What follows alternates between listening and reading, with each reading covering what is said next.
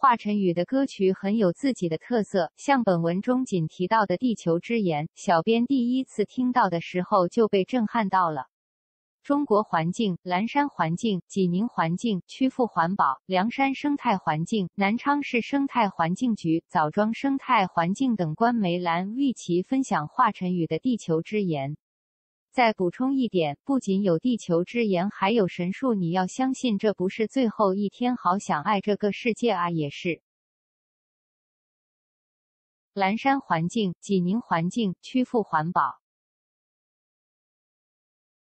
才华赤诚大爱。总而言之，这很华晨宇一首写给地球的情书，同样也是写给我们的。我想要世界拥有更多欢乐中的我是我们。在疫情如此反复的时代背景下，在听地球之言，拥有别样的感触。对于这首歌记忆最深的是，他身穿白衣，闭上眼，双手托着红色话筒，缓缓升起，举过头顶。那是一个艺术家对宇宙万物的敬畏与大。听完成华晨宇的《地球之言》之后，灵魂被洗涤了。